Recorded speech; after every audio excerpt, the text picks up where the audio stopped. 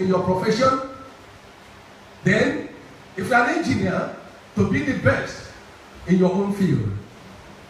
If you're a housewife, to be the best of a wife- housewife. And if you're a husband, to be the best of a husband. Praise Master Jesus. Praise the Lord. So this conference is all about giving us tips. It's all about giving us information on how to become the best.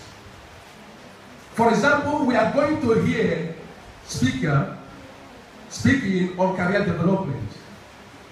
It is all about taking your career, whatever is your occupation, taking it to another level.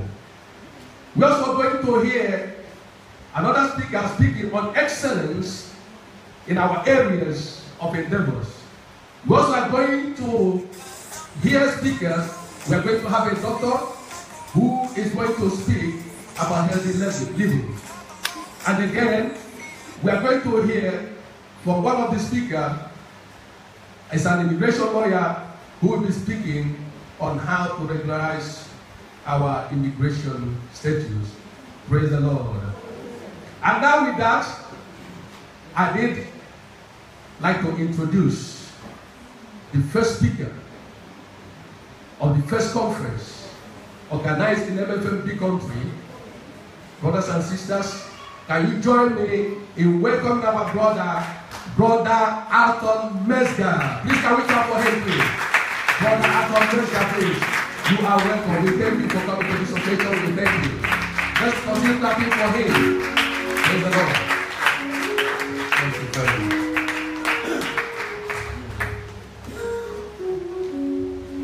Good morning. Good morning.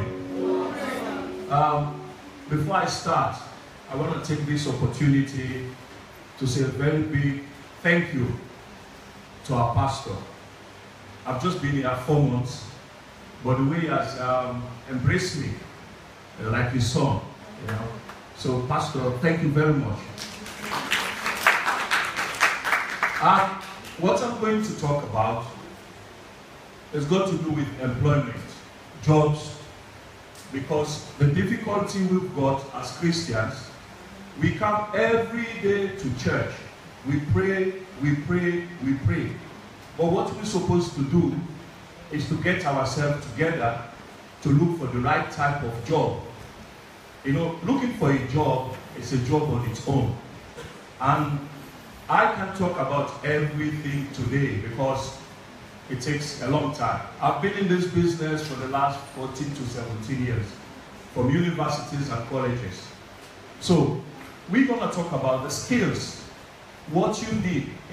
I will summarize it for 30 minutes, within 30 minutes, because it's a whole big area. If, you, if you've been to university or college, some of you have done a course called employability skills. Employability skills is a whole semester or a whole year. Now, if you imagine, I'm going to talk about it for 30 minutes. Yeah? So, I want to make it very interactive. Please ask questions as we go along. At the end, you can ask questions. Okay? Now, I'm going to ask you, what do you all know about job search skills? What do you know about it? Two seconds. Anybody?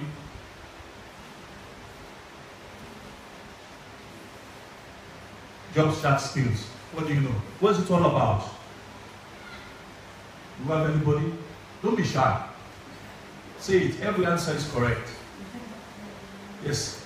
The things you need to be able to search for a job uh, efficiently. Yeah. Because we search, Yeah. Okay. where you need to go, what you need to Yes, that's good. Anybody else? interview. Yeah, interview skills. Anybody else? Preparing yourself. Okay. Now, we going to move on.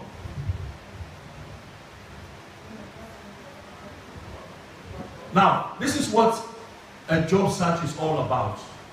Finding employment that matches your personal preferences, your skills, your interests, and values. Yeah? Please, can I say something? Don't think pastor is saying or is of the opinion that you don't know what to do. No. Pastor has got a task to make sure we get the best. And the way for us to get the best is to do things like this. If you know, brilliance. If you don't know, fine. If you know, you can polish it up. So don't turn around and say, oh, pastor should have done something else. Because I can tell you from my experience, we are getting it wrong every day. I'll tell you this. As we go along, you will see. So that's what job search is all about. Now, when you're searching for a job, there are many ways of searching for a job. You can go to a recruitment agency. How many of you go to agency? I believe one thing that is common in Britain today, nearly 60, 65% of us work through agencies. Yeah? You can register at agencies. You can go to websites, different company websites, and you can talk to people, your friends, your relatives, or you can follow social media like LinkedIn. Some of you are registered on it. Yeah? Now, when you're looking for a job, there are certain things you must be able to understand. You see, some of us, we say we're going to look for a work, a job. I'm looking for employment. But there are lots of things we don't look at. Now, the type of, the first thing we look at, which is very common, there are many, but these are the most common ones, is the physical demand. Yeah? The type of job you're going to do. Say, for example, with due respect, most, some of you that work within the health and social care sector, it's a very demanding job. There's a lot of lifting. You lift patients, you push them on trolley. Do you have the strength for that when you want a job in health and social care? I've seen people who've gone into it, they've come out. Oh, it's too much, I can't lift patients, I can't push trolley, I can't go up the steps, I can't do this. That's something you need to look at. The other thing which is very important is the salary or the wage. The salary is what you get on a monthly basis. Wage is what you get on a weekly basis. Some of us, we don't take that into account. We just want a job. And when you go into the job, you realize, for example, they're giving you 26,000 pounds a year, and your expenditure or your spending is 46,000 pounds, then problem starts. Because your salary can't cater for the, your needs. So that's something you need to look at. Yeah? Then the hours of work. These days, the economy is 24 hours. Some of us are sleeping, other people are going to work. Do you want to work full time, part time? Do you want to work during the day?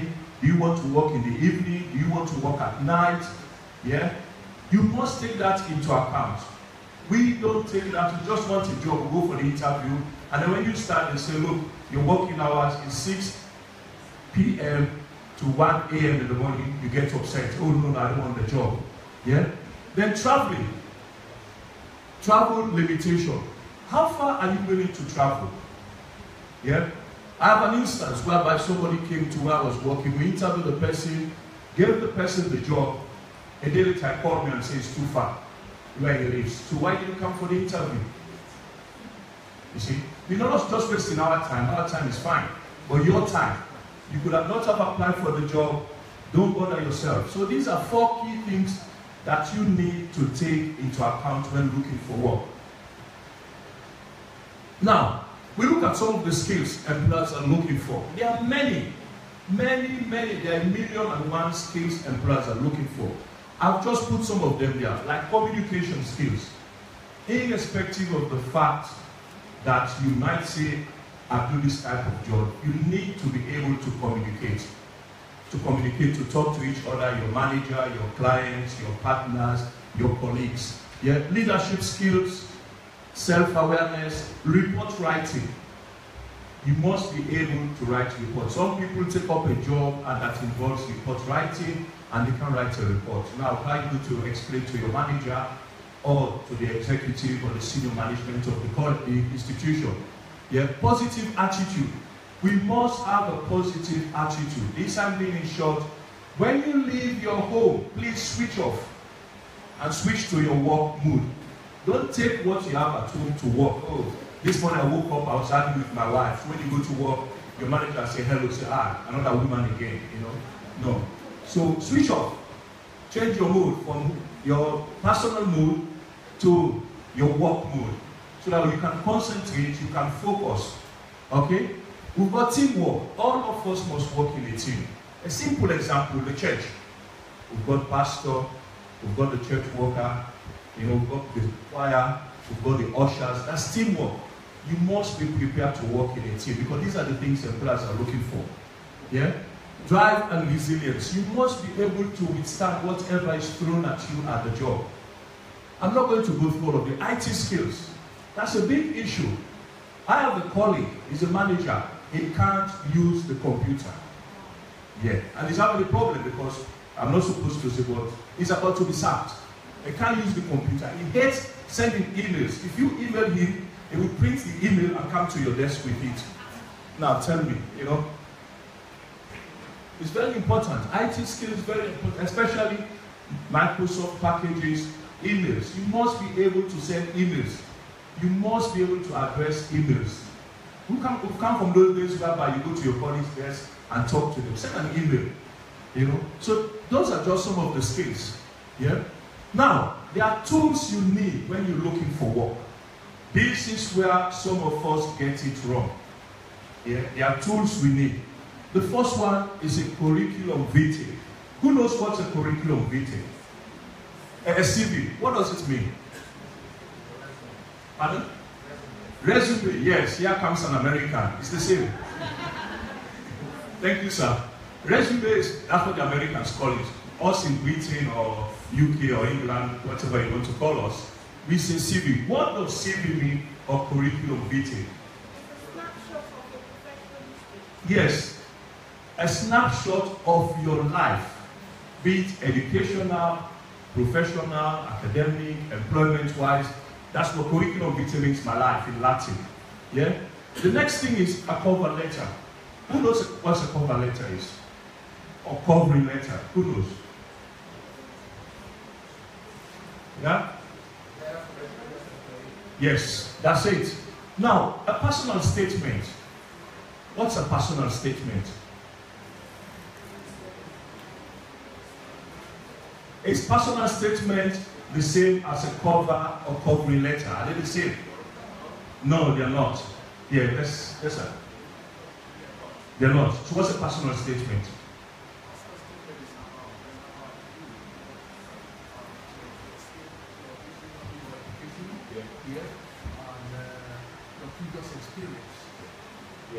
So please, let's don't get it wrong. A cover letter, if you look at a job advert, they will tell you with your CV, you have to attach or enclose a cover letter. Yeah? Or with your CV, they want a personal statement. A personal statement is, a, is just a statement. A cover letter, you put your address, the address of the employer, Yes, sir, madam, the subject, um, managing director, and then you write a letter in a page, not more than a page. And then you end with yours sincerely, yours faithfully, depending on what's in the salutation. Yeah, a cover letter, please take this, you can Google it, should not be more than a page.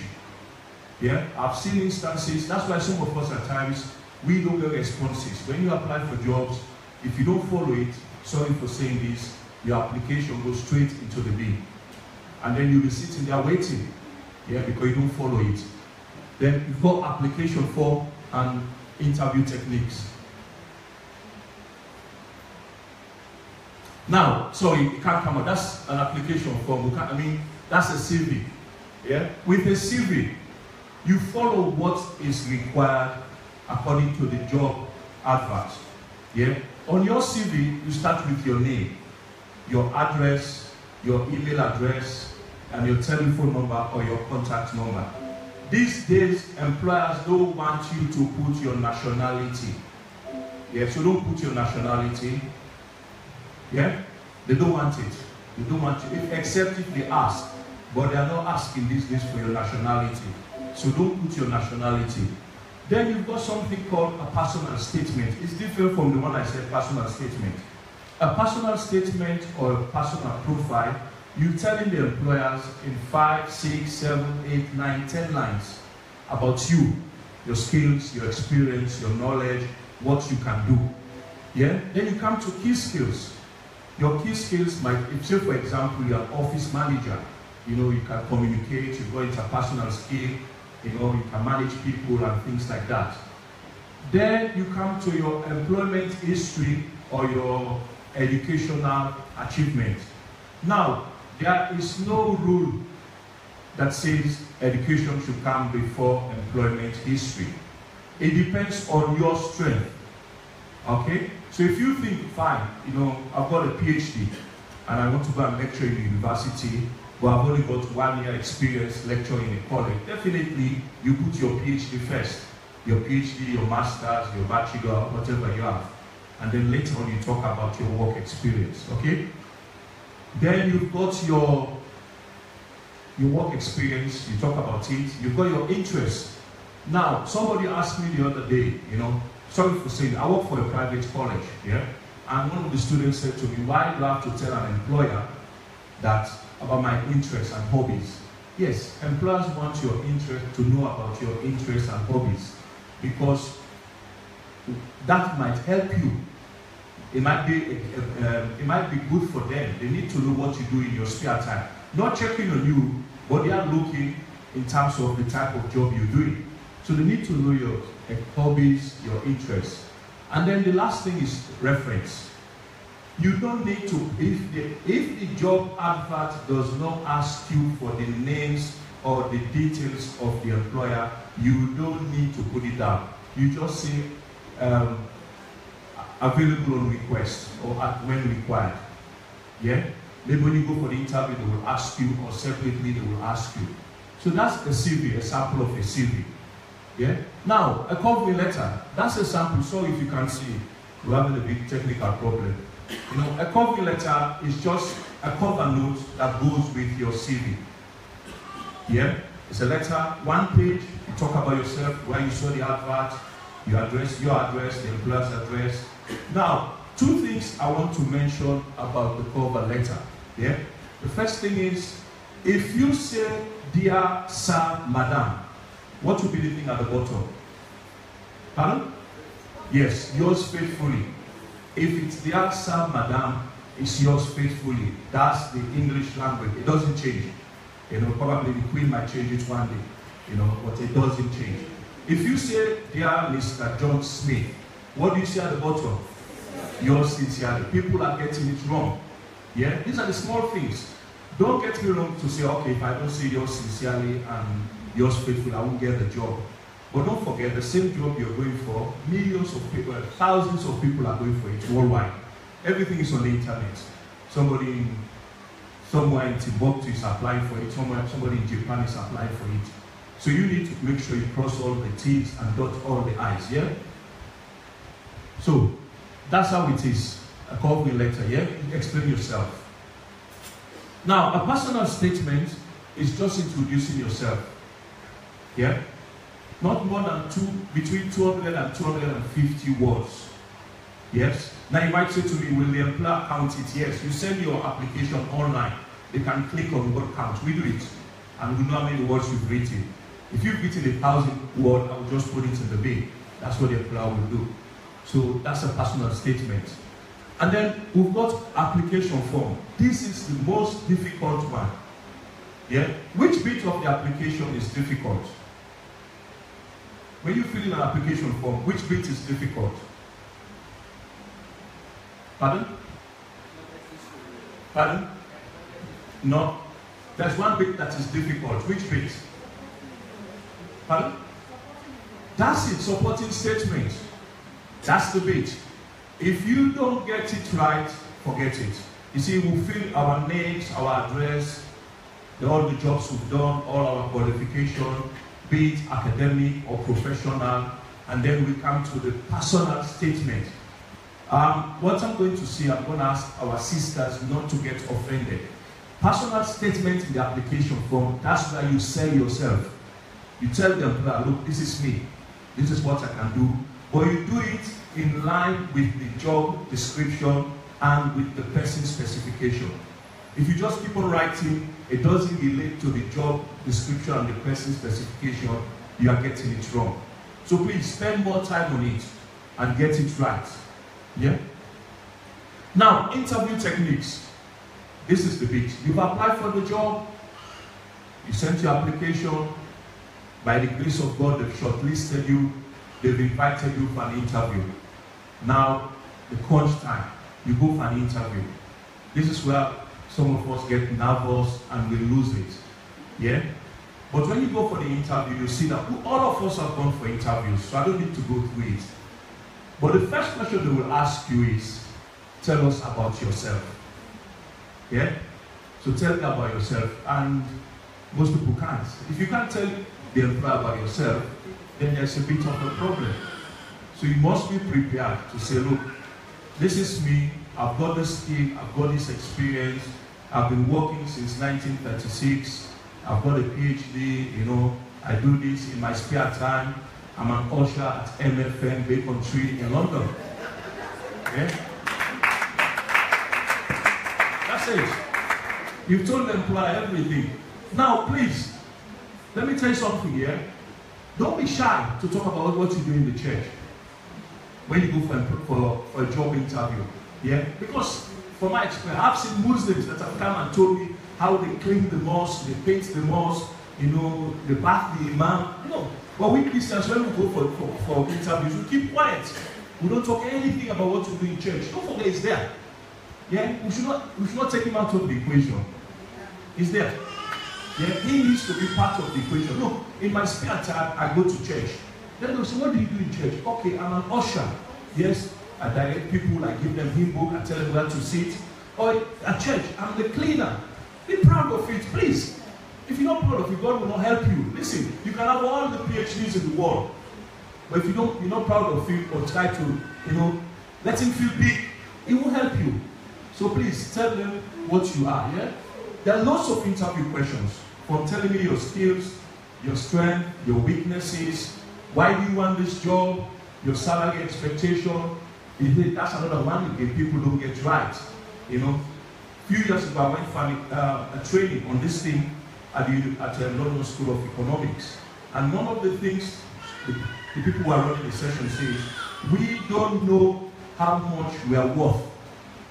You know, and the people will say to you, so, okay, the salary is from 30,000 to 45,000. How much do you want us to pay you? You turn and say, I don't know. You should tell them, look, okay, 30,000 to 45, well, by my skill, my experience, you know, my knowledge, my ability, I'll go for 40,000. Then it's up to the plan to decide. But you must be prepared. You must have an idea how much you want. At times, they don't put the salary in the job advert. But you need to know that when I go for this interview, I'm worth 50,000 pounds. Tell the employer, please. See, people who don't believe in God. They are the ones ruling us, taking care of everything. Me and you that come here every day, we're still working under them. We still work under unbelievers. We still work under people who don't know God. Now, and you're saying, oh, pastor, please help me here. The pastor has got a limitation. He can pray. He can call on God for you. You've got your bit to do. Okay? Now, so it didn't come up clearly. We've got some websites. You know, different websites. What I'm going to do, if pastor allows, we're going to have sessions on this. You know, so you can come, we do it. You know, today is just a briefing so that you people are aware that you don't just come to pray, but you pray and act, you know. Now, these are typical barriers to getting a job. Yeah? We ourselves create barriers to get the job we want. You see, the thing I don't believe, you know, an unbeliever will determine that I'm going to get this job. We as Christians, we don't. You know, because we are thinking lack of self-confidence. You go for the interview, you are shy, you know, you don't want to talk, or you think, ah, I'm a lady, why is this man looking at me like this? The man is not interested in you, he's looking at you to, to hear what you have to say. You know, have that confidence, be bold, explain things, ask questions. You know, when they come to you, they say, Do you have any questions? Say yes. You know, this job is a managerial job. How many staff am I going to manage? How big is the team? where is this company going? But we'll just, okay, yes, okay, it's okay, yeah, you know, I need this job, you know, I have to pay the bills, council tax, and TV license. No, please, please, yeah? Lack of IT skills. Let me tell you something, whether you believe it or not, the world has become global and the world has become computerized. Yeah? See, sorry, I don't know. Pastor, please excuse me. I'm the one doing the computer training in the church. If you see it in the thing, I'm the one doing it. And I told them that um, my GP, I didn't know. I, I called my GP they said, no, no, no, no, no, don't call us anymore. I was like, oh. They said, go online and book your appointment. So now tell me if I don't have to use a computer, how will I go online and book my appointment? Yeah? Lack of qualifications. This is a big, big issue for us. Sorry for saying this, so-called ethnic minority. We don't want to learn. We don't want to go to college. We don't want to get qualification. You know, sorry for saying this. Yeah, you come and pray. Then go and go, go to college. Go to university. It's a means to an end. Eh? You know, it's I said to people, it's an academic exercise. Yeah. So try and get your qualification. I've seen people who've been doing jobs and then promotion comes, they can be promoted. They can be promoted. Yeah, because they don't have the qualifications. So please, yeah, health issues. Okay? Some of us are making it an issue. Oh, no, I'm not well, I'm sick, I can't come this day, I can't work at night, I can't work in the evening. The other thing that is creating a barrier is the gap in our employment, especially for our mothers and our sisters. You take time off to have a child. Put it in your CV. Yes, you know, I was taking care of my children. But if you leave the gap, the employer might think anything about you. First of all, the thing that comes to mind is probably you are in jail or something. That's why you disappear for two years. You know? So fill the gap. Don't leave any gap in your employment. Criminal record.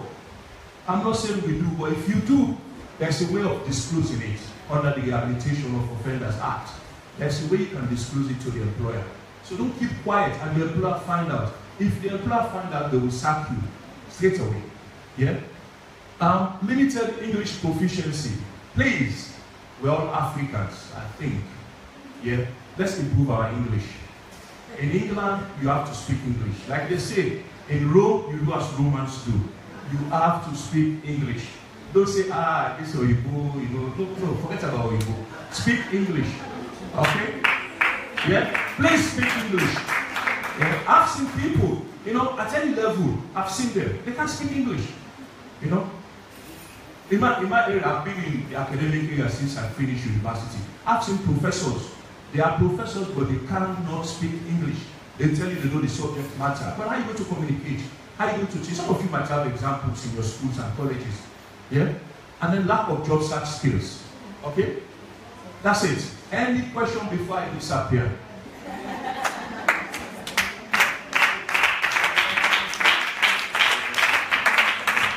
Is it all clear? Do we have any question?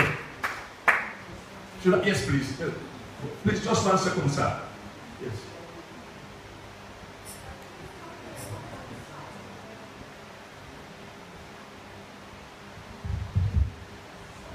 Yeah, this mic is coming. Just one second. Let's get the question. Yeah. Please come to a copy of the slide when you finish. Yeah, yeah, yeah. I can give you a copy of the slide. Yes, if you want it, we can photocopy and give it to you. Yes. Any other question?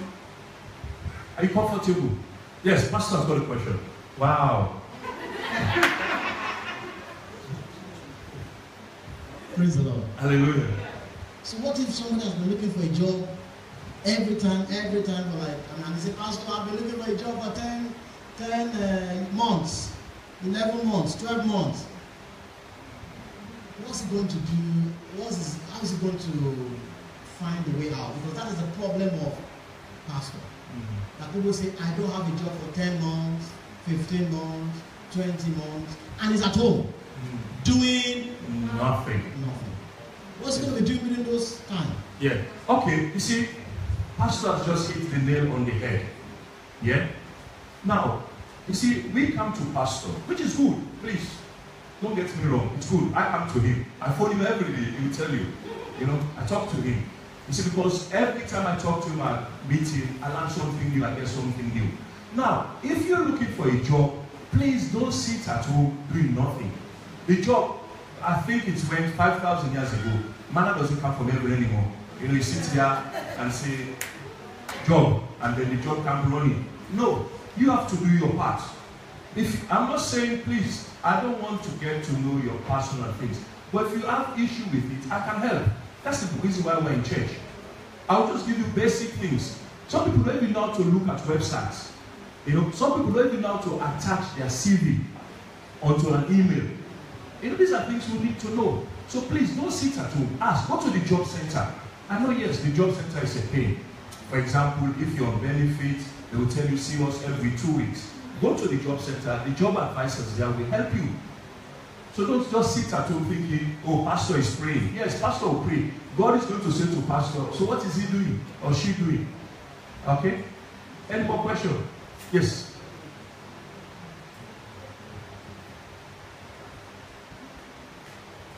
Praise the Lord. Hallelujah. My question is, you know, you've given us a lot of information today, Mm. isn't it? And I believe that um, there are some of us that actually require help with a lot of the things you've said. Yeah. So, um, can you kind of, you know, we are very busy and we're telling you to go off the microphone already, but we need time. Yeah. Some people may need one-on-one Mm. to tell you, maybe it's a cover letter, Yeah. maybe it's to put their CV together, or maybe preparation for an interview, Yeah. or even to go, or which websites they can send their CVs to, or how to readjust their CVs.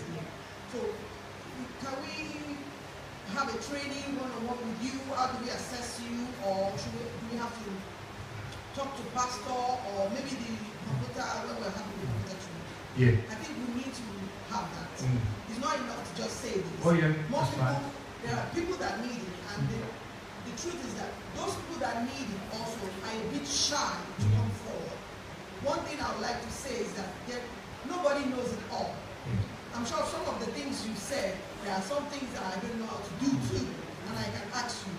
So if there is anyone here that needs such a help, don't hesitate to ask. Nobody's going to be judging anyone. Hmm. nobody is going to be saying, oh, you can't do this or you can't do that. Can you imagine sister this or brother that? So please, if you really know that maybe it's a cover letter you need help with, or maybe it will be adjust your CV because I've seen CV before. Oh yeah. And I Oh yeah. and I wonder, is this a CV? Mm. So if it's a CV or a cover letter or interview in preparation, we need time that we can call you or maybe talk to pastor to get through to you or something. You Yes. what I mean? Yeah. Um, what Pastor said to me, you know, because I didn't do anything without him not giving the go ahead. What he said is, um, come and do it. Just a summary and overview, like the computer training that I'm doing on Saturdays. We're gonna have time, and then you will announce it. You know, because whatever I do, I want to get the ahead from him first, because that's how you respect authority. It's a church, you know. So if you need help, you can talk, talk to pastor, and when the session starts, he will put it in the bulletin, and um, I can provide the help. I don't want you to come to me and thinking, well, you know, sir, please, you know, let's talk to pastor. Let's do it in an orderly fashion. Yeah, do it in an orderly fashion. Okay. Then once pastor agrees, I'm ready. I'm prepared. I'm not bluffing you. Please don't get me wrong. I've got 17 years experience in this business. You know, from universities to colleges. So I can help you. Yeah. And I do go for training. I upgrade myself. Like I said, I went to the London School of Economics for training. I do train my things are changing every day, even CV. Some people these days you don't send more than two pages of CV. That's standard. If you send more than two pages, they put it in the bin. You know, but you see, you come and pray on a Friday. Everything is dead. When you go Saturday, sit in front of your computer and apply for a job. Then, by the grace of God, you don't sit at home. You know, some people have been in jobs. Sorry for saying this. Some of the jobs we are doing, you know, that's another type of job God wants us to do.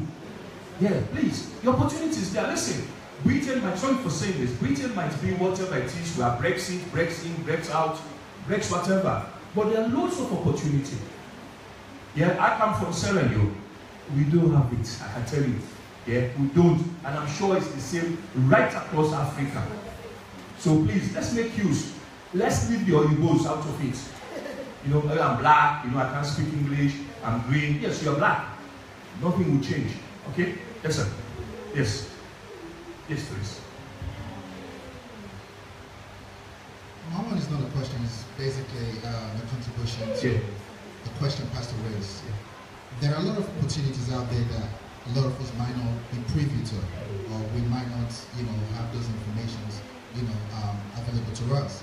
For example, um, some people can be out of work for, you know, maybe like 11 months, sometimes 12 months, and they, you know, they don't really know how to assess certain um, funding programs that are free from the government. For example, there is this um, health and social care course Yeah. that is free, level three. And now, you know, within the health industries, if you don't even have level three health and social care, you might not even be able to be a support worker.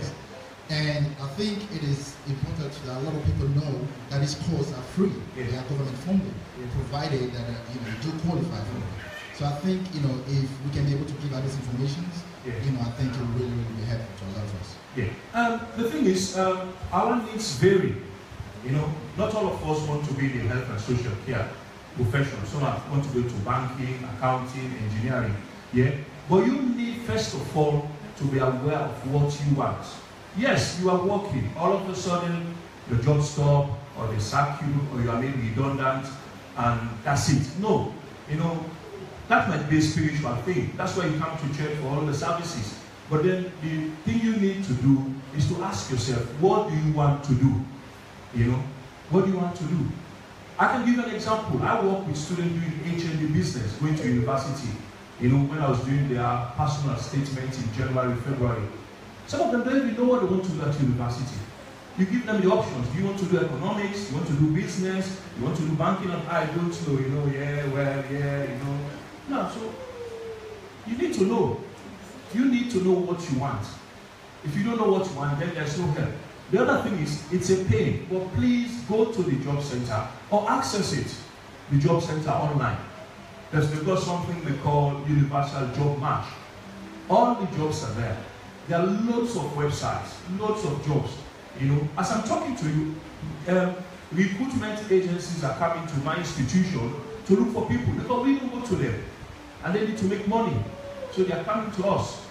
Yeah? So please, let's you need to know what you want. And once you know what you want, I will be able to help you, or the church through pastor will be able to help you. Yeah?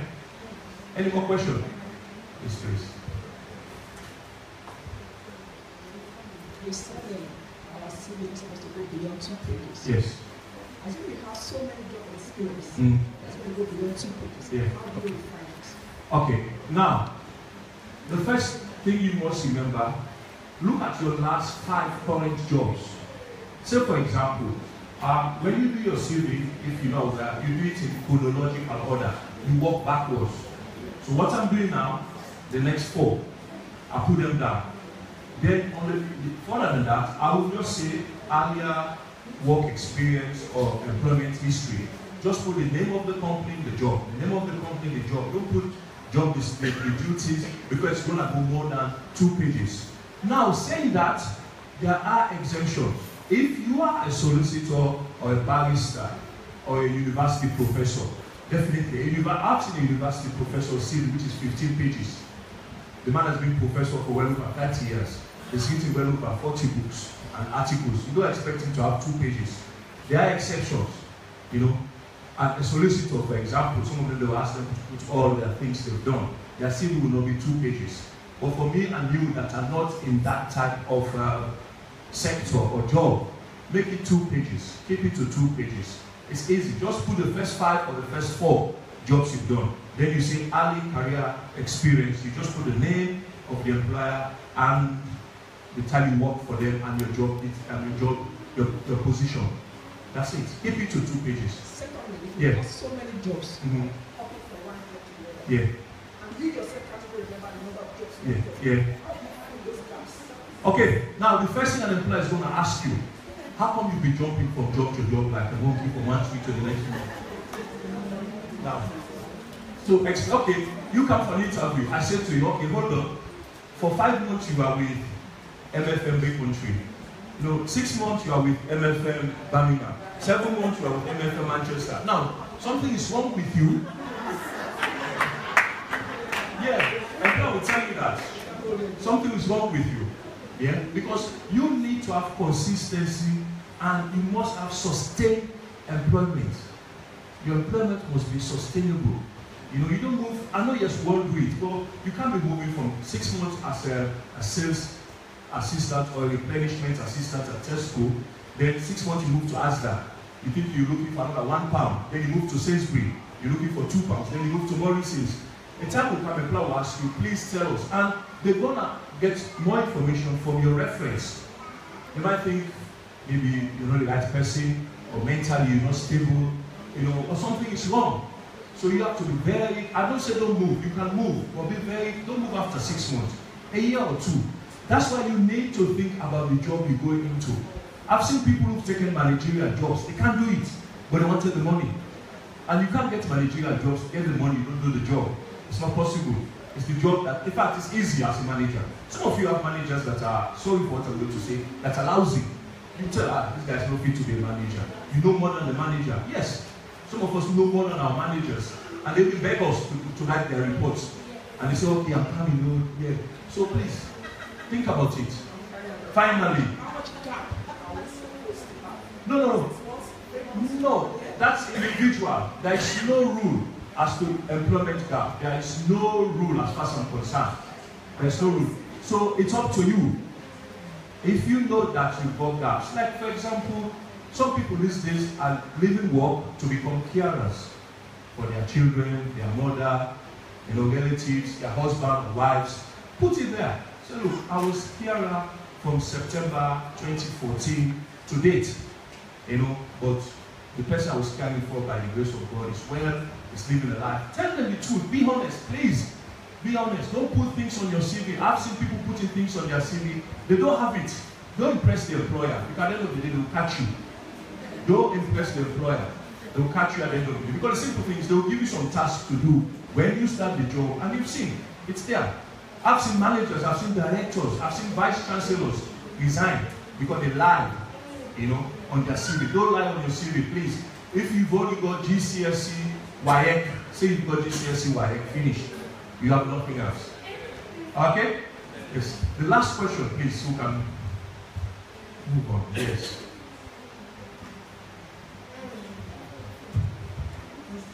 Hallelujah. It's actually in addition. I just wanted to say that um, you should not hold just one career. Try and have two or three careers. Especially if you're not working, if you're looking for a job. Try a different career. Try another career. Yeah. So you have two or three in order to remain employable Yes. at all costs. Yeah. Okay. Now, what she's saying, what she's saying, um, you must have one or two jobs. But with that, there's a bit of, there's an issue there. You see, for example, you can have, let's say, let's say, which one is easy? Let's say you're an office manager. You have your full-time job that you do Monday to Friday, and you've got your part-time job that you do Saturday and Sunday. What do you say? I said you should have two careers at least. Mhm. While you're working in one, Mhm. right? You know there's another one in case you. Oh yeah, yeah, yeah. Okay, fine. Yes, Or, or alternatively, yes. you know, in But- order to remain employable. But with that, you need to be upskilling Yes. your skills. Yes. But now, the question I'm going to ask you is: You're doing this job. The other job you're not doing. What's happened to the skills? Yeah, that's fine. That's fine. Yeah. You see, other people are doing. Yeah, yeah. You don't do that, you end up missing Yeah. yes. You see, like I said, it's not a one size fits all thing. We are here. Yeah. Not a one size fits all. So you must decide what you want. You look at the job market, you look at your skill, you look at your career. There are people who are solicitors, you know, I use them always, and barristers in the city. So there's some of them are selling fish, they're running their own business. They finish with law, they say it's enough. They- They're businessmen now because they say law kills them. I don't know if there's a lawyer here or a solicitor barrister, but they say it kills them. So they move on. So it's up to you. But then in doing that, you must have the necessary skills. It's either something called reskilling or upskilling, or they go concurrently together. Okay? This is the last, last, last, last, last. Praise the Lord. Hallelujah. Yeah, uh, you are you are uh, applying for a job for the first time. Yeah. And the job applications, it's stated that you should take a number of years of experience. Yeah. And you haven't got the experience. Yeah. yet. How do you go about it? Now, that's a very good question. Now, you just finished school or you finished university and you're looking for your first job or you don't have the experience. What do we do? Let me throw it to the floor. What do we do? Yes, please.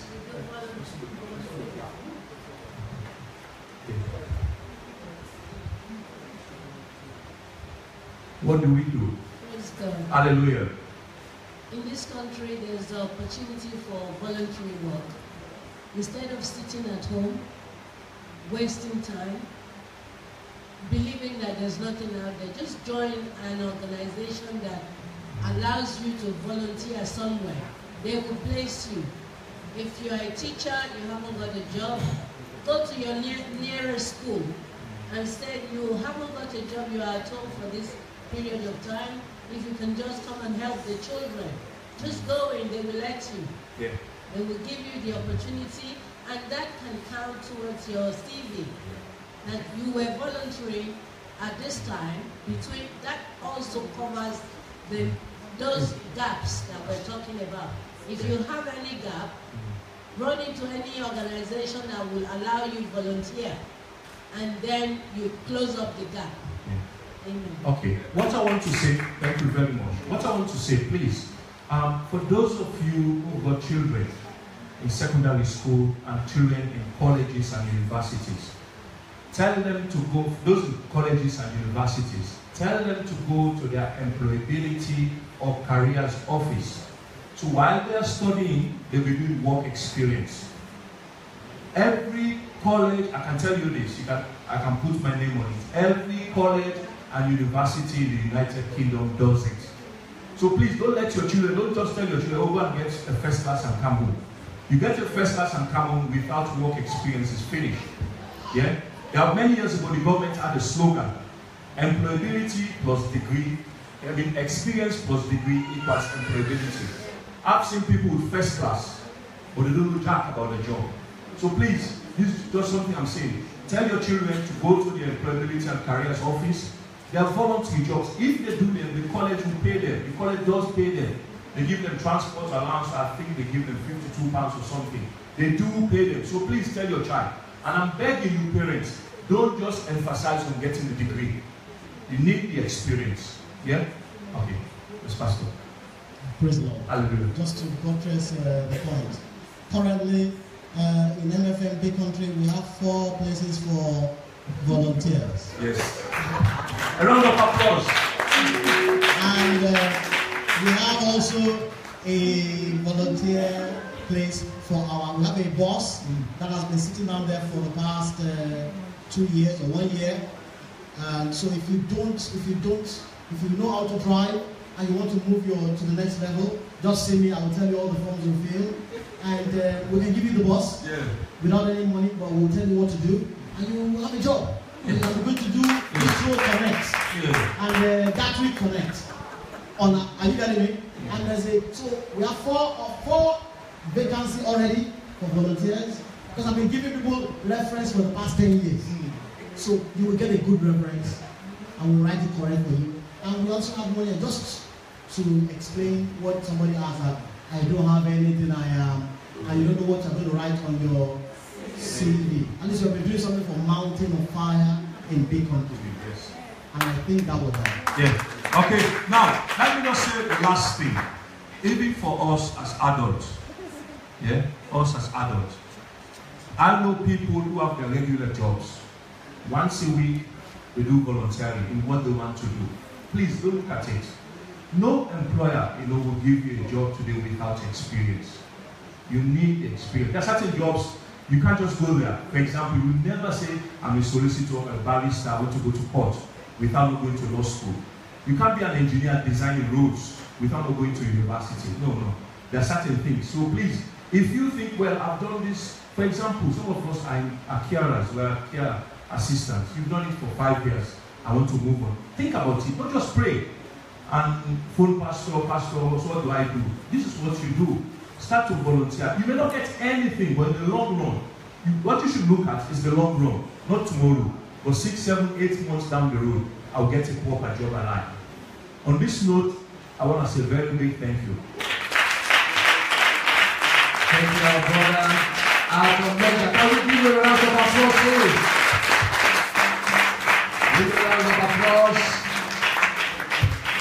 Are you blessed?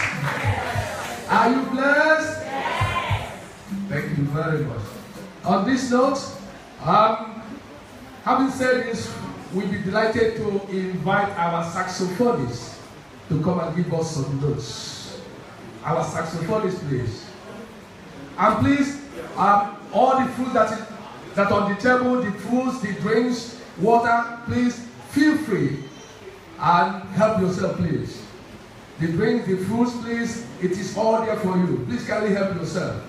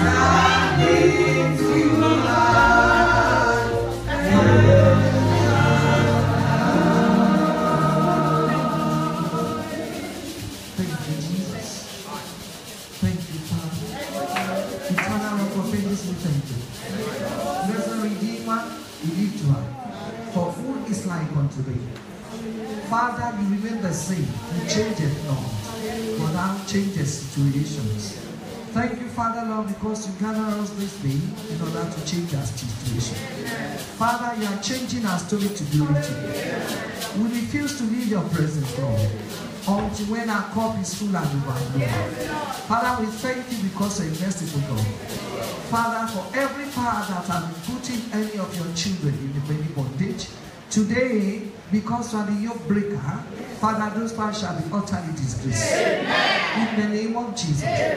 Father, what whatsoever will be standing against that which you have written concerning your children, their fruitfulness this day, everlasting Father, you are going to keep them out of our way.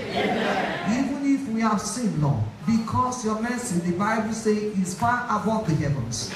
And your word says, mercy rejoiceth against judgment. Whatever the judgment of the enemy that is standing against being fruitful, today your mercy shall them in Jesus. Father, we bless you. Let the Spirit of the living God have his way. Father, as the word is coming, Father, let it come out with power and fire and authority. And let it begin to do the work of healing. Let it begin to do the work of blessings. Let it begin to do the work of great deliverance. Meet every one of us there at the very point of our needs. Let our lives never remain the same. And at the end, Father, take all the glory for yourself. And let the shame return to the devil. Let the blessing be unto your people. Father, we bless you. We thank you, Lord. Because you are more than you are more than enough to do more exceedingly than we have asked for. Blessed Redeemer, we thank you. As we pray in Jesus' adorable name. Now, amen. Before we take our seat, I want us to pray this prayer. before we take our us. God bless you all. You point your finger to the heavenly beloved and say this prayer. Say, My Father, my Father, my Father. My Father, my Father. Answer your name in my life. Answer your name in my life. In the name of Jesus. Let's open our mouth and pray that prayer. Answer your name, O Lord. Answer your name in my life. In the name of Jesus. Answer your name in my life. Answer your name in my life. My Father, my Father, my Father. He is your Father. Call him Father. Answer your name in my life. Thank you, Jesus. Thank you, Jesus. Thank you, Jesus. In Jesus' mighty name we pray. Amen. Oh God of Abraham, Isaac, and Jacob. Oh God of Abraham, Remember me for good. Today, in the name of Jesus. Open your mouth and pray. Open your mouth. The Lord is bringing you out of the loop of forgetfulness. He's bringing you out of the loop of forgetfulness. God is remembering you for good today. Thank you, Father. Thank you, Father. In Jesus' mighty name we pray. So wicked powers contesting against my fruitfulness. What are you still waiting for? Expire in the name of Jesus. Expire, expire, expire, expire. Wicked powers, wherever you may coming from, either from my father's house, my mother's house, wherever you are sent from, contesting against my fruitfulness, your time has come. Expire, expire, expire, expire. In Jesus' mighty name it is settled. And so, Heavenly Father, we just want to thank you again and again. Lord, I thank you because you are still in the business of answering prayers. Thank you for those prayers that you have answered. Take your glory, Father. For Jesus' mighty name we pray. Amen. amen. Shall we be seated in the presence of God? Amen. Sit like a king. Amen. Praise the Lord. Very quickly, we look into the Word of God before we go into the ministration. Amen. The, the short topic, the message is uh, I shall be fruitful. Say to your brother, say, say my brother, I shall be fruitful. Whether the devil likes it or not. In the name of Jesus, you shall be fruitful. Amen. Praise the Lord.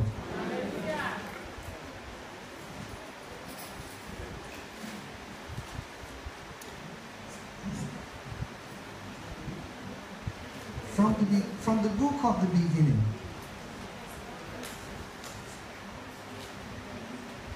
Amen. From the beginning, we can see the God whom. That God is God of what? Is God of fruitfulness. Close your eyes, beloved. I want you to ask God for one thing. Be definite now. Let's close our eyes. Just one minute and talk to God.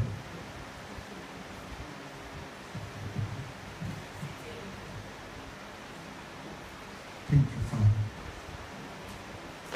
Thank you, Father. Thank you, Father. Blessed be the name of the Lord. Hallelujah. The Lord is hearing you.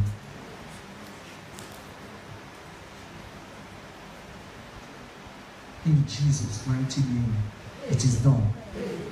Thank you, Father. Amen. Beloved, the awesome God is seen from the book of the beginning, that is Genesis. Amen. From Genesis, that is the God of fruitfulness. In Genesis from chapter 1, verse 1 to 21, God did, He did a lot of things there, the work of creation. God created the heavens and the earth. He started by creating the light.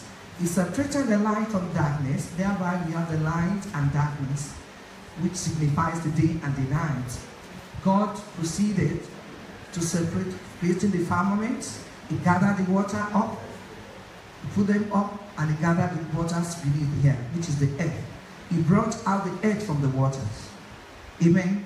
And he went on and told the earth to be bringing forth grasses and herbs, herbs yielding seed, fruit trees yielding fruit of after its own kind, which means those trees should begin to reproduce. Amen. Praise the Lord. In that light, in the family, that is uh, the one in the heavens, he now put some light there. Amen. Which is a great light, the one for sun, the day to rule the day, and another one to rule the night. Put signs and wonders, put stars there, signs and wonders to mark the days and the years. Thereby, everyone, when we woke up in the morning, we said, This is another day which the Lord has made. Amen. He put living things inside the waters, moving things, animals, the creatures that has life, of course, whales. He now has fowls to fly above the earth in the open firmament of heaven. Wow. Wonderful God. Amen. All these ones, by the time we get to verse 22, here we go. God now blessed everything he has created. He said, Be fruitful. Praise the Lord. Be fruitful and multiply. You fill the earth, you fill the waters in the seas, and let the fowl multiply in the earth.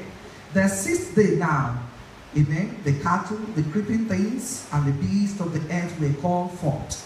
That very sixth day, the Lord now, the God now decided to call the council in heaven, which of course is a book of 3 John chapter 5 verse 7, which says, For there are three that bears record in heaven, the Father, the Word, and the Holy Spirit, and these are one.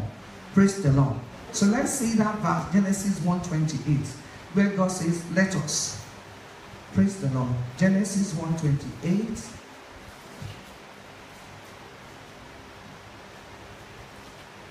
Genesis 1.28. Let's take it from 27 to put it in more proper context. So God created man in his own image, in his own image, in his likeness, in his similitude. Aha. The image of God created he him, male and female created he them. That's the sixth day. 28, verse 28. And God blessed them, and God said unto them, Be fruitful and multiply and replenish the air and subdue it and have dominion over the fish of the sea and over the fowl of the air and over every living thing that moveth upon the earth. Praise God. Look at verse 26. Just a minute. And God said, Let us. Let us. Who are the us? This, uh, this is God in three persons, which I've already told you in the book of John. First John chapter 5. First John chapter 5 verse 7. First John 5 7. Praise the Lord. Amen. God entered into conference and took decision of creating man in the image of God. Praise the Lord. After which God now blessed them. When you look at the blessings that God pronounced, it is in fivefold. The first one is said, be fruitful. The second one is said, multiply. The third one is said, replenish the earth. And the fourth one is said, subdue it. And number five, to dominate. To dominate means for you to do what? To, to take control. That is, to control something, to take over, to be in charge. And for you to be in charge, it means you are a king. Praise the Lord. Amen. So that's why you are king, you are king, and Jesus is the king of kings. That is to dominate, to take over the affairs of everything that is going on on this earth. I love that word replenished.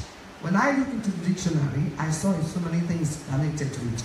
That replenished the earth. What did he say? He said to fill up again, which means you continue to refill and fill up and fill up and fill up and fill up, which is still talking about fruitfulness. He said to restock. Amen. To restock something, which means if you are if you have a shop, as you are selling something, you have to restock it again. So that it continues. It's a continuing tense. Praise the Lord. To refill. He said to refill. To re, to furnish. Look at it. To furnish. To supply. Praise the Lord. A replenser. That is, we are here to make sure that something at, that the life continues. That's why you can see from one generation to another generation. Praise the Lord. That is, even though people are just, if even some people are dying, amen, another one. You live to see your children's children's children's children's children. Shout hallelujah. So with this one, that one tells us that God is God of fruitfulness. Amen. God, that is, God loves fruitfulness and he hates anything called barrenness totally. Exodus 23 to 26. Let's see. Exodus, book of Exodus, verse 20, chapter 23, verse 26. it is better we read out this 23. Exodus 23, verse 26. Look at what is written there. There shall nothing cast their young nor be barren in thy hand. The number of thy days I will fulfill. I mean, let's see, let's say it together. There shall nothing cast their young nor be barren in thy land. The number of thy days I will fulfill. Shout hallelujah. hallelujah. So, what then do we mean when we say barrenness? Barrenness is when one is incapable of producing offsprings or fruits. So barrenness means sterility. That is somebody is sterile. Amen. Barrenness means unfruitful, unproductive, unfertile. Amen. It also means so many things. Scanty, empty, desert, desolate. Praise the Lord. I use the, the, uh, the, the dictionary of the English language. It even says stupid. So in the whole, praise the Lord. So these are the meaning of barrenness. So God has not created anyone to come to this world to be stupid. Praise the Lord. He has not created you to be unfruitful or productive. Amen. In the whole Bible, we can count seven barren women. Amen. But all of them, God healed them with the exception of one. Amen. Who are these seven women quickly? The first person you see in the Bible, Sarah. You can see the account of Sarah in Genesis chapter 11, verse 30. Amen. Sarah, the, the mother, the mother of Isaac. Praise the Lord. We, amen. But on the long run, God answered Sarah. Sarah gave birth to Isaac. Even when Sarah thought she can really help herself, and she quickly arranged her Hagar to meet with uh, Abraham and they have Ishmael, God says he is not the promised child. God still fulfilled his promise concerning bringing forth of Isaac, which is laughter. I have the good news for somebody here. You are carrying your Isaac. Amen. Your laughter is here. Amen. Isaac means laughter. Praise the Lord. Even there was a well, there was a time when God was even telling Sarah that you're going to have a child, and Sarah laughed. He was looking at herself because he considered her age. Amen. When God wants to do something, he wants to do it. Amen. God can fast forward and he can rewind. Yes. After all, he's the one that created that woman. Sarah was looking at herself that she was old. Amen. The, her age. Forgetting that God is the creator. Amen. He made all the organs. He replenished it. He did, I don't know, he did something to the organs, and the organ was able to carry Isaac. Shout hallelujah. hallelujah. I don't want you to begin to look at yourself and begin to look at your life. Say, oh, I'm getting old. Who told you? Shout hallelujah. hallelujah. Rebecca is another, was another woman in the Bible, Genesis 25. Because of the time, that's why I'm just giving the Bible passage. Genesis 25, 21. Praise the Lord. Praise the living Jesus. But on the long run, God answered her. Amen. God answered Rebecca. And what's the, what's the name of the child of Rebecca? Anybody? Rebecca gave birth to who?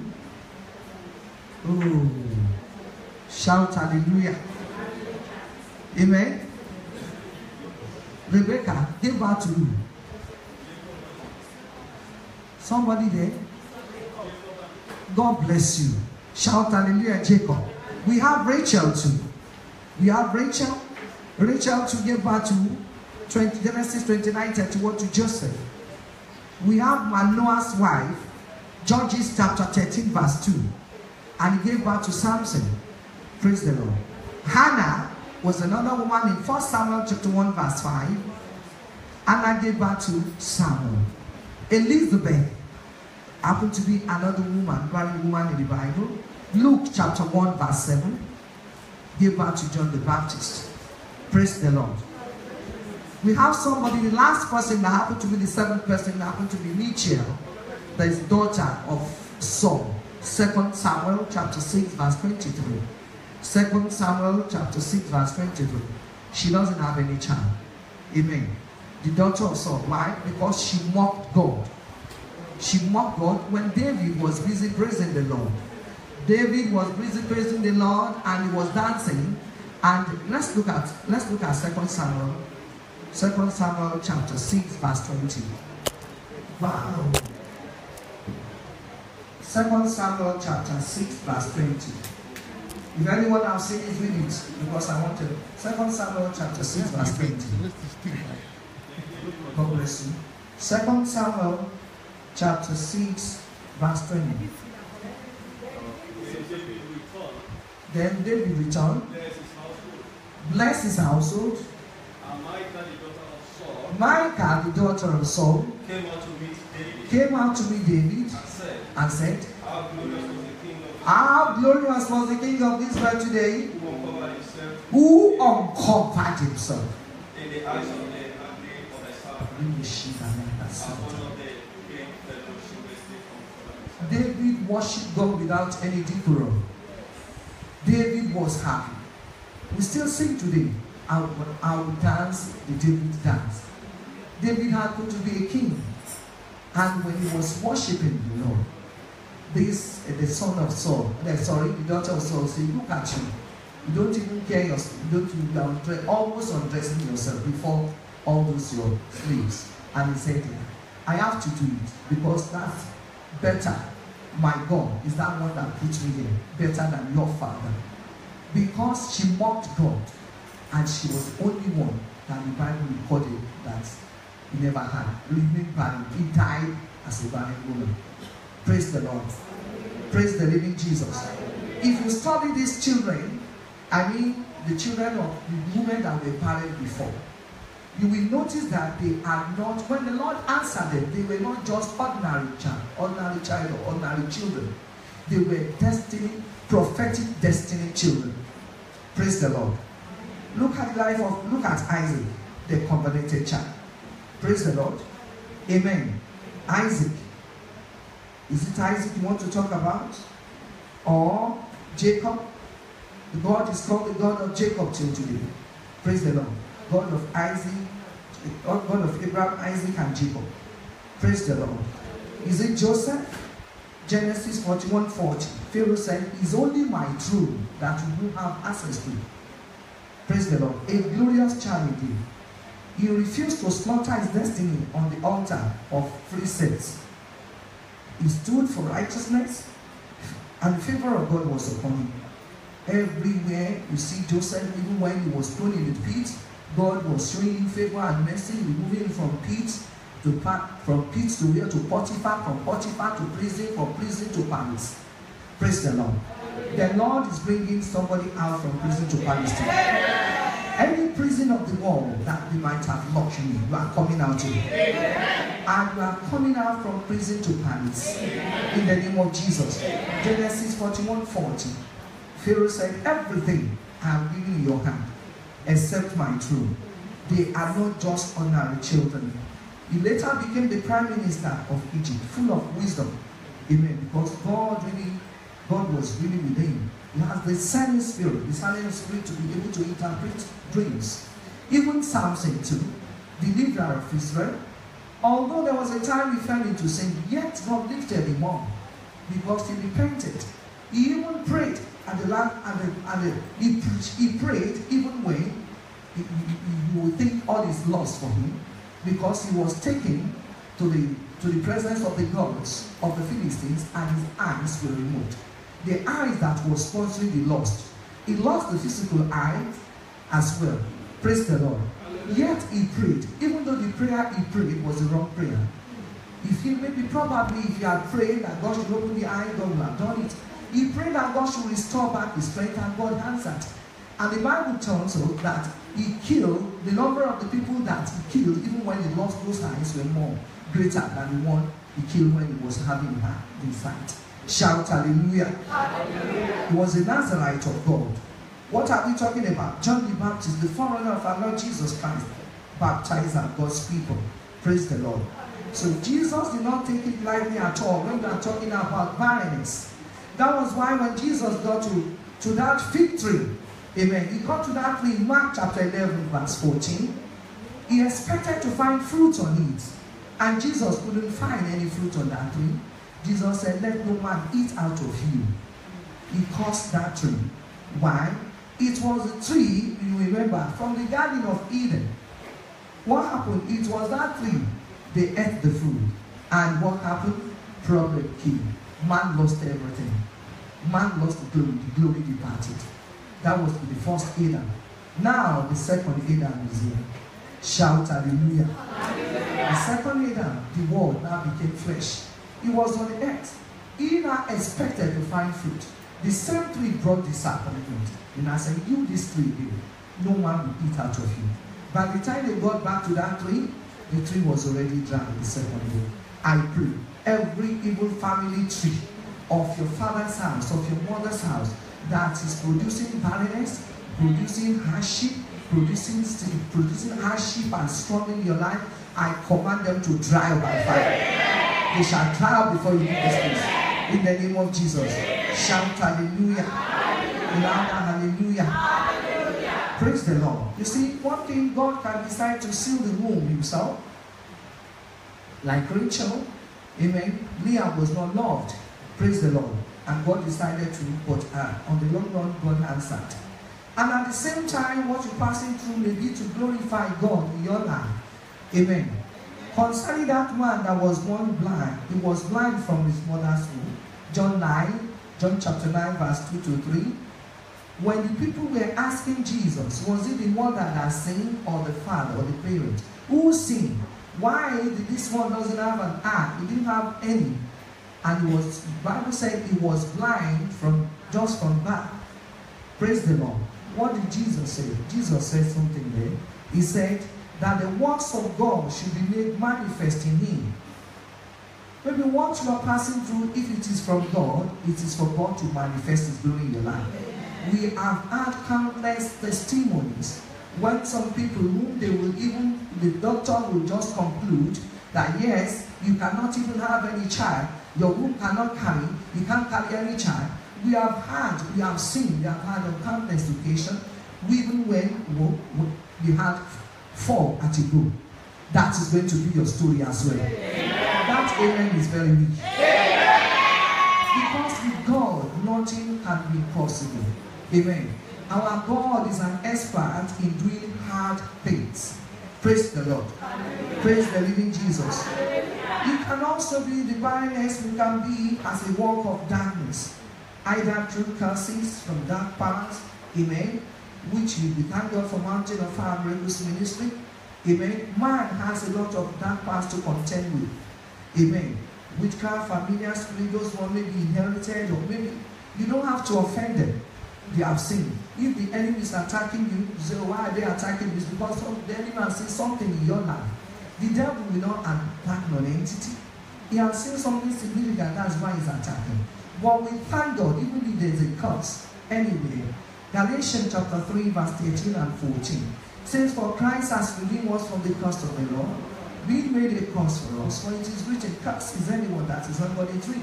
Shout hallelujah. And the blessing of Abraham will come upon the Gentiles to faith.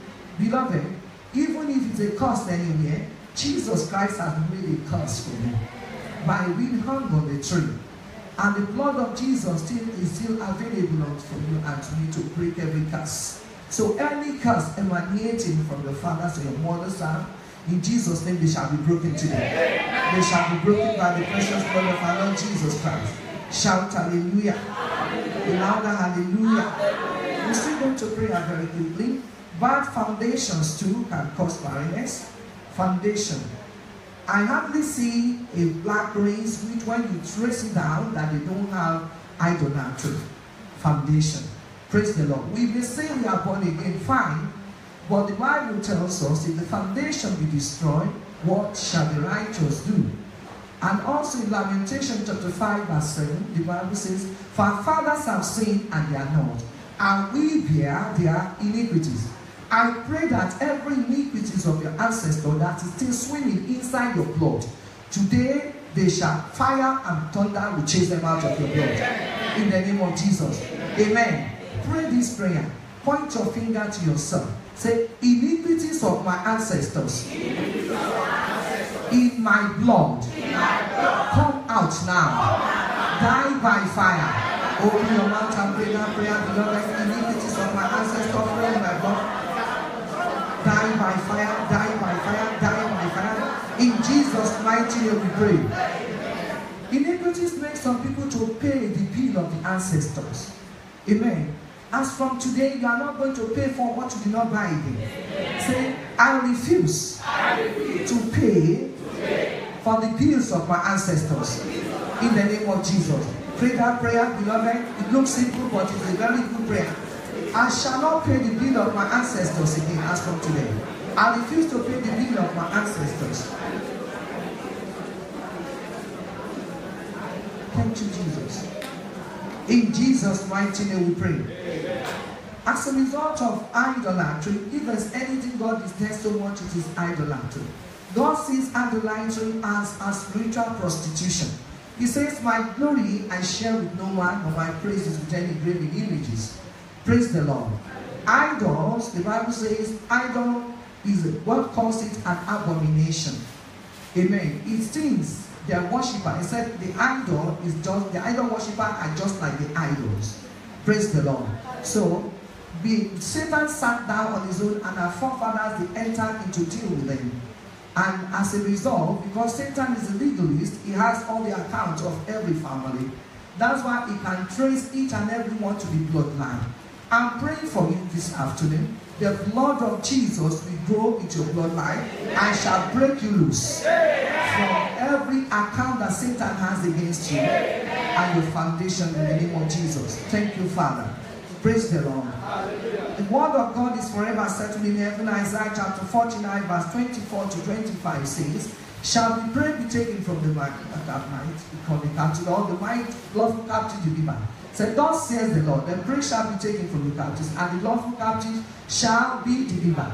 For I will contend with thee that contended with thee, and I will save thy children. I feed those that oppress you with their own flesh, and they shall be drunken on their own blood as I And all flesh shall know that I'm the Lord, your Redeemer, the Holy One of Jacob. Beloved, you need to pause there. Why is the grace extended to the children, your children? Because curses and all the ill doings of our ancestors are more devastating in the lives of the offspring than the first offenders.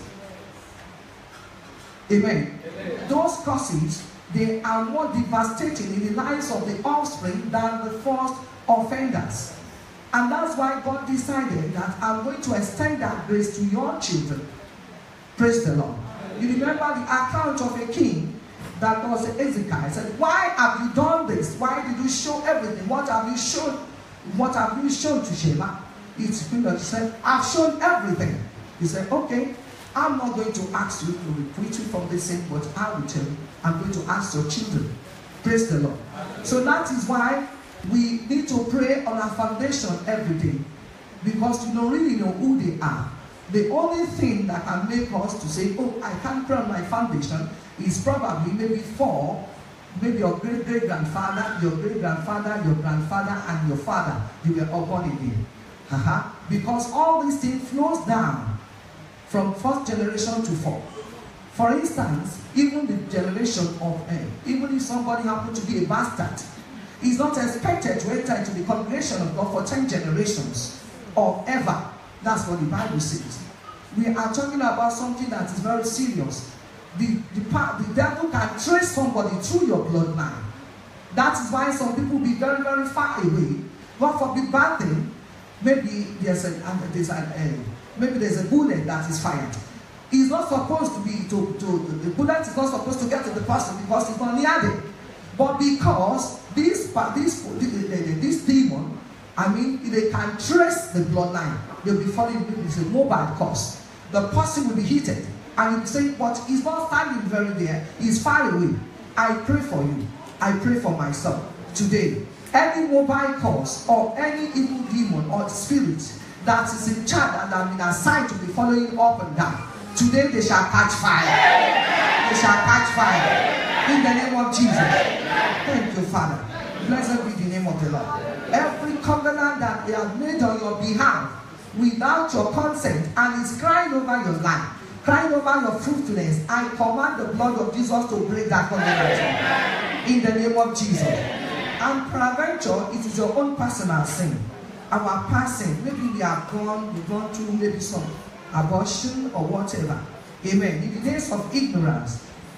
Amen. Maybe we have done that kind of a thing, and right now we are still looking unto God for the fruit of the womb. I pray that any power that is using your past to torment you, the mercy of God will deliver you from that battle. In the mighty name of Jesus. Beloved, Isaiah 52 verse 3 says, You have sold yourself out for naught. You shall be brought back without money. Blood of Jesus will buy you back to you. It will buy your fruitfulness back. It will buy your children back. In the name of Jesus. Shout hallelujah. There is nothing that is new to God. Your case is not new to God, beloved. We have the count of a sister. Even by the time you are uprooted about maybe six pregnancies, amen, it got to state that the, the, the, the, our doctor needed to save her because all the wombs have been perforated. And the doctor now said, either I remove the womb or you go. He said, he said the doctor should remove the womb. Shout hallelujah, somebody. The womb was removed actually, and what really what happened next? So after some time, she met with the Lord, and she became born again, a serious child of God, child of God, walking in the vineyard of God. One day, a man of God woke up to her and said, God says you are my wife. He said, No. He said, Go back and go and pray. He said, But God says you are my wife. He said, I, If it is a joke, you just go. Then after some time, he called the man. and said, God cannot say I'm your wife. Let me tell you about my past. She told that man about her past and said, Even though you have a past, you don't have any womb, God has not said so. God just said, You are my wife. To cut the long story short, we took went to the senior pastor, they prayed, and God confirmed his word. After the, the marriage was done, but barely six weeks after, what happened? After the marriage, she started feeling sick. She thought maybe it's because of the going running up and down. But she she's been taking some malaria tablets and medication. So, but to her amazement, she's still having this morning sickness. And you know she's used to having pregnancy. She know how she know how she's been feeling. Out of curiosity, she carried herself to her former, her former doctor. When she met the doctor, the doctor said, "No, it's been a long time." Said, "Yes, now I'm a child of God." They joke, and after some time, said, "Doctor, I'm sick. I'm, I don't know. I'm being, being funny." Doctor treated her for malaria. Amen. But no you, he never stopped. So out of curiosity, doctor now said, "Ah." So all what you are saying is the symptoms of a, you know, a pregnancy woman. Okay, let's do the test. And by the time they did the test, she got pregnant immediately. It was it was positive. So I don't know your condition, which you are saying to me. Praise the Lord. Amen. And the doctor said, it cannot happen. Because the doctor happened to be a Muslim. The doctor has his praying mat in, in, in, in, in, a, in his consulting room. He said, but I remove the bread. I remove it. I remove the, the womb because I wanted to save your life. How come now can you be able to have a baby? You are now pregnant. The doctor said, okay, because of this one, I don't need anybody again to tell me that Jesus, that Jesus is Lord. The doctor gave his life to Jesus. She carried the praying mat and threw it in the bin together with the bead and said, yes, your God is real. So, beloved, I don't know the condition you are. Maybe you have been allowed the enemy to be giving you guilty conscience every time, every time, every time. It's because of that thing, it's because of the abortion. God has forgiven you. He's God of mercy. If you believe your God, He said you will see wonders. Praise the Lord. Shout hallelujah. Louder hallelujah. Ah, praise the Lord. So what are we talking about? What's the way out quickly? Today, genuine repentance, confession of our sins, genuine salvation. Then you invite the blood of Jesus. You cry for mercy because mercy rejoices against judgment. Amen. Believe God for his words. You are a child of God. Amen. All things have passed away. All the evil record that Satan has against anyone here, in the name that is above every other name, Jesus Christ, I command that evil record to catch fire. I command it to catch fire. In the name of Jesus. Testimony is about to be born your In the name of Jesus. You are singing your song. You are dancing your dance. You are daughter of Zion. The Lord does not want anyone, anyone to be barren. Amen. Once you have confessed your sin and God can see your heart, His hand is always open to receive you.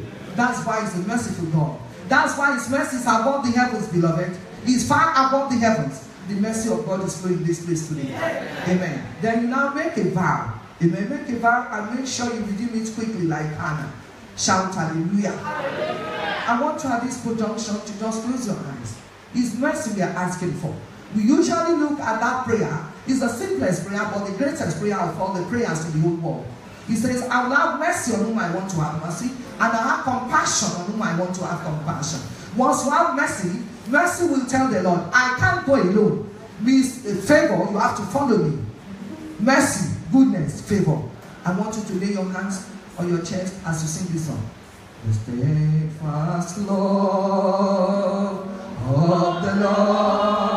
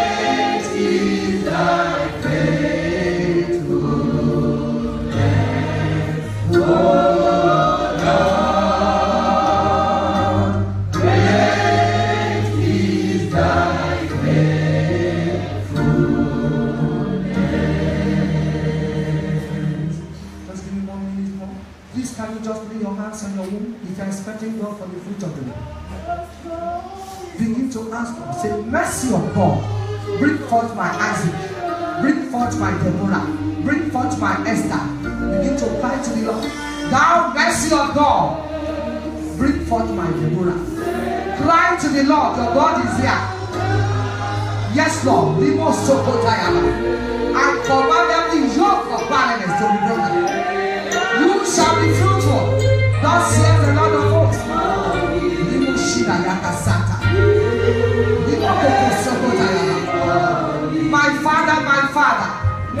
Let your hand begin to touch your people, Lord. Receive the touch of God there. Every cause of barrenness, I command you to break now. Release your hearts. Let that womb now open now. Every padlock of darkness that is binding that womb, I command you to break and shatter. In the name of Jesus. I stand here as a minister of God. I stand here in the name of the Lord of hosts. By this time, next year, as the hope and liveth, you shall be with your desired children. You shall be with your twins and your children. And the Lord liveth, and his spirit liveth forever. The Lord God of hosts that dwelleth in Zion, because of his mercy today. Oh God, my Father, let these ones now be joyful mothers of Isaac and Deborah and Daniel.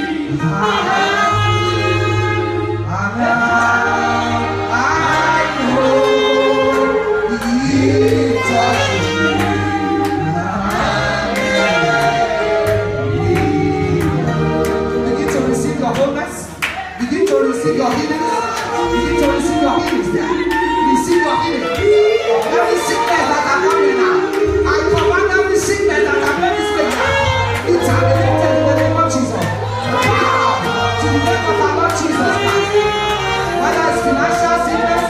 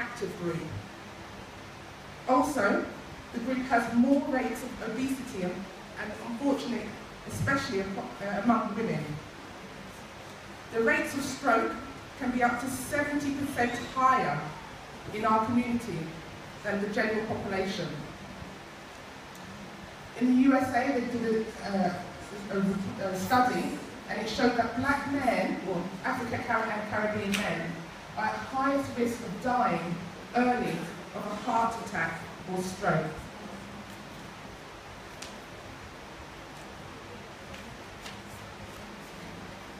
Next slide.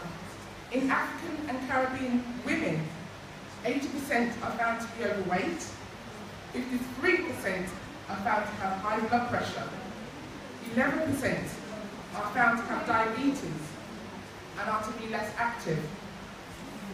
Next slide. On this slide it shows if you have any two of these things, you are at increased risk of having a heart attack or stroke. And that's increased by 117% compared to Caucasian women. And that's high blood pressure, high cholesterol, high uh, sugar level, and a large waistline. So the main risk factors are family history, age, smoking, diabetes, high blood pressure, high cholesterol, being overweight, being inactive, being unhealthy diet, alcohol and stress. Now all those facts and figures can be quite alarming, but I'm here today to try and show you how to avoid those things.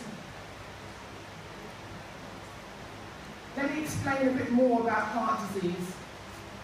So with high cholesterol and artery disease, cholesterol is a fatty substance which is made in the liver, but it can be found from, from our diet, and it's found in the blood by a blood test. It causes atherosclerosis, which is a hardening of the blood vessels, and makes them more narrow. This can make the blood more difficult to flow through the blood vessel. And that's when high blood pressure, heart attacks and strokes, poor circulation in the legs, and blindness can happen.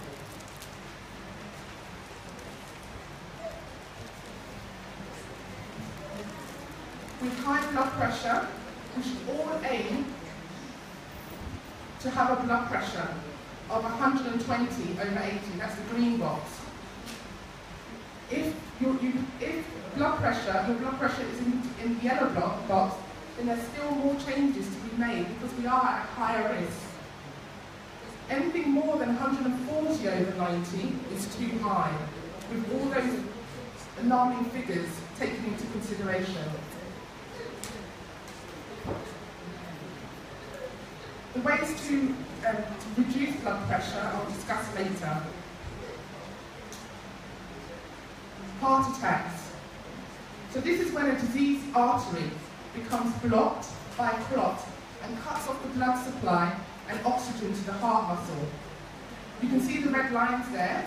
They're the, the uh, blood vessels to the, uh, supplying the heart muscle. And these are the ones that become blocked. This can cause sudden death. It can cause heart failure, irregular heart rhythms, and affect people's lives after that if they have a heart, heart attack. So what are the symptoms of heart attack? The person may start feeling unwell. They might have a tightness, a, a heaviness in their chest. It may, it may not only be in their chest, it may go to their left arm, it may go to their neck or to their jaw. They may have other symptoms like feeling sick, vomiting, sweaty, out of breath. Sometimes people have these kind of symptoms and they may, they may, they may happen when you're, when you're walking or doing exercise and then it settles. But this is something called angina, which is a leading up to a heart attack. So any signs of heaviness in your chest should you to go to the, to the doctor. Stroke. This is when a diseased artery in the brain becomes blocked by a clot and cuts off the blood supply and oxygen to the nerves in the brain. This causes potential, potentially permanent changes to the way your body and mind works. The symptoms of stroke may be that the face is fallen to one side, that the person can't raise one arm and leg on the same side. Their speech may become slurred, any of these signs needs to be called, the person needs to be called an ambulance. Some people may have those signs and, and the symptoms settle after a few minutes or an hour. You still need to go to A to A&E and call 999, as it could be a mini stroke, but that is still leaving a very high risk having a, a, a real. So I want you to go I want to go on to talk about cancer. The reason why cancer is so important for us to understand the symptoms and attend screening and and just make sure that we actually are aware of it is that one in two people may have cancer in their lifetime. One in two. But there are less but less people are dying from it because of treatment and catching it early. So the common cancer symptoms will be sudden weight loss, feeling more tired and persistently tired, some change in your bladder habits, seeing blood in the urine, persistent cough that doesn't settle, or your voice may become more hoarse and croaky, unexpected bleeding, such as having bleeding after you've gone through your menopause, some changes in your bowel habit becoming more regular, very more regularly, or having diarrhea, or seeing blood in stools, difficulty swallowing, having many pains that are unexplained, and in skin, changes in moles, not particularly in our generation, in our um, community, but are unexplained lumps or sores that don't heal. The most common cancer in, in men as a general population is prostate and lung and bowel cancer. In women, is breast, lung, and bowel.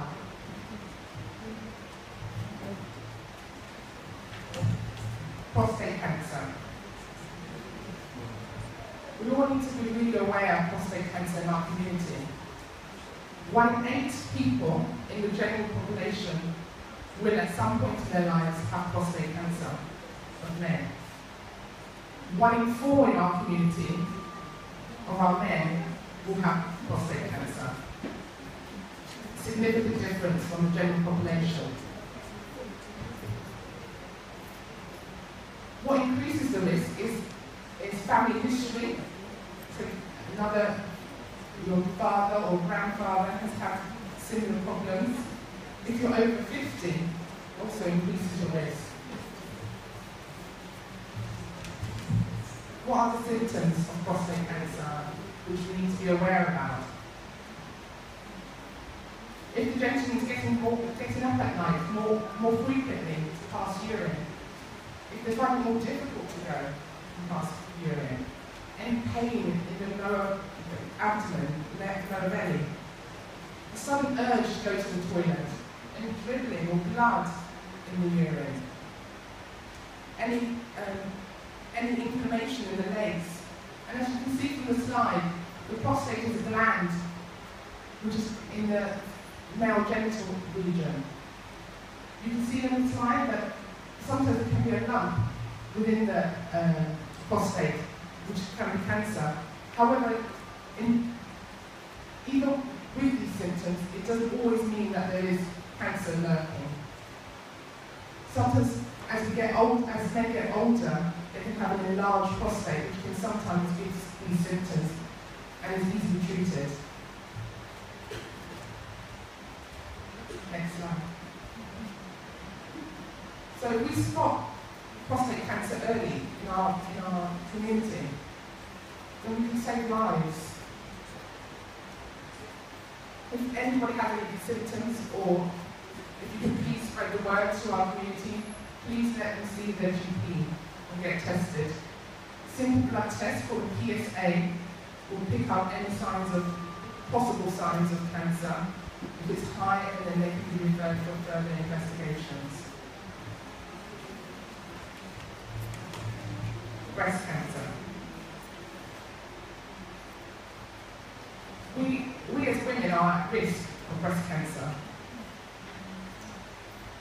African Caribbean women on average develop breast cancer 21 years earlier than Caucasian women. It's more likely to be aggressive, it's more likely to have a poorer outcome. They did a survey and 43% of African and Caribbean women have never regularly examined themselves, compared to 11% in the general population. most of it don't know how. And also, it was found that African and Caribbean women, despite being um, invited to have breast screening, most were unlikely to, more unlikely to.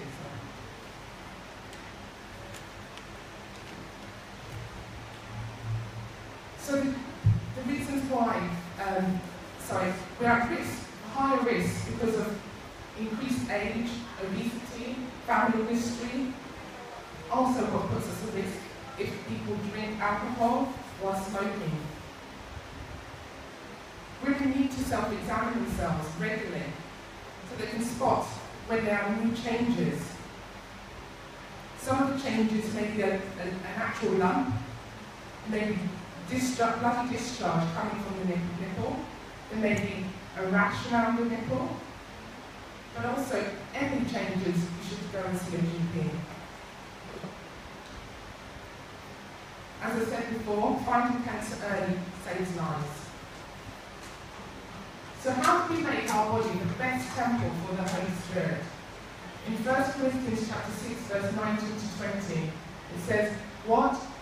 Know ye not that the body, your body is the temple of the Holy Ghost, which is in you, which ye have of God, and ye are not of, and ye are not your own, for ye are bought with a price. Therefore glorify God in your body and in your spirit, which are God's. How can, how can we help ourselves avoid diseases like cancer and heart disease?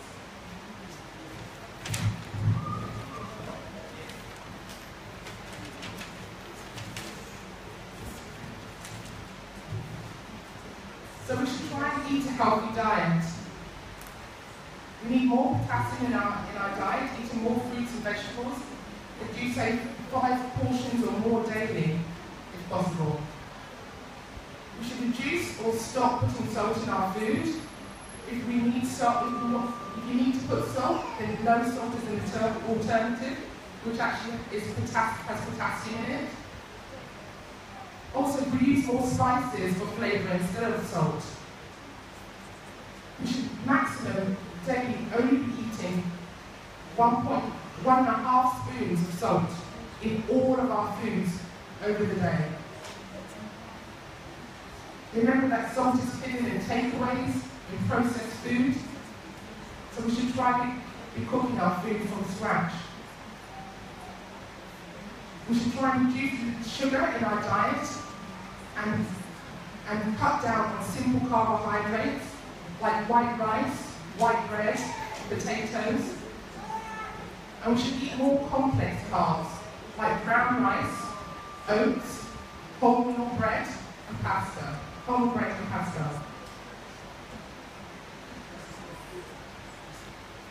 Also, we need to cut down our use of palm oil in our food. It's too much. Need to avoid the amount of nuts and cheese in our diet, as that can cause high cholesterol. Large amounts of nuts and cheese. Every nut. So every time you eat or drink, you are either feeding disease or you're fighting it. And that's the way we need to look at our food. We need to get moving. We need to start doing more exercise. As I said before, that we are the most inactive group in all populations. We need to get moving. In all of Africa, African Caribbean group is the most inactive.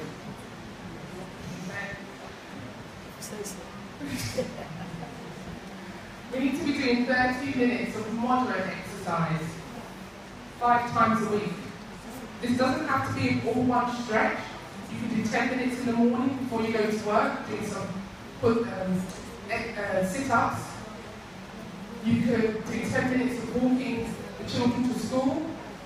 You could doing 10 minutes of going for a walk later on in the evening.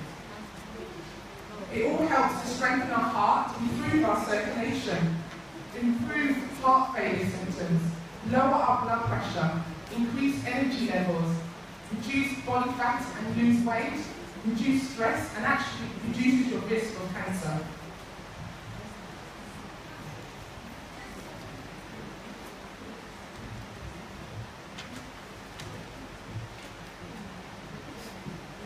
A study showed that exercise can reduce your breast, risk of breast cancer in old age. It can reduce your risk of bowel cancer. Can reduce your risk of womb cancer also. Next slide. So I'm urging everyone to find your 30 minutes in a day. Find your 30 minutes in a day where you can be more active. As I said, it doesn't need to be all in one session, but it can be broken up throughout the day. If we do this five times a week, our risk in our community will drop.